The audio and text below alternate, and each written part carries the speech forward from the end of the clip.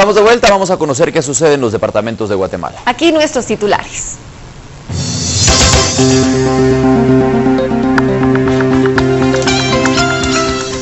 Corriente del río Chalval amenaza con socavar y destruir tramo carretero en Ixcanquiché.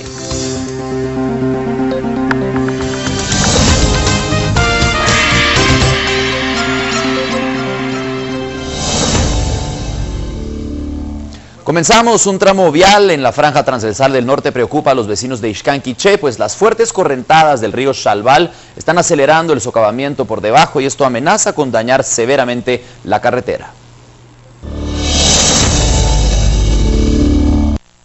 Una fracción del megaproyecto vial de la franja transversal del norte está a unos metros de interrumpirse por un socavamiento provocado por las fuertes correntadas del río Chalval en la circunscripción de Pueblo Nuevo Ixcán. El río pasaba hasta allá, no había problema, pero ahorita el río ya se nos vino para acá rompiendo esta pared donde está la carretera. Como 8 metros tal vez está quedando, ya no es una cantidad de tierra.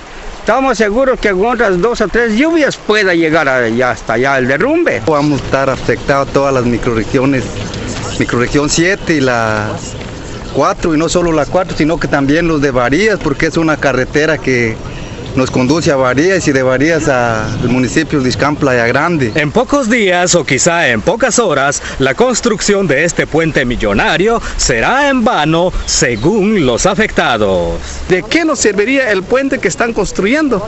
cuando aquí estamos descuidando. Entonces, por eso es nosotros queremos librar la carretera, aprovechar el trabajo que están construyendo allá. Y entonces yo le pido al señor ministro Alejandro Sindivalde, por favor, que mande una comisión de inmediato del ministerio para que le dé solución a este problema de este río Chalván. Por una Guatemala en paz para el noticiero Guatevisión, reportó Santiago Botón.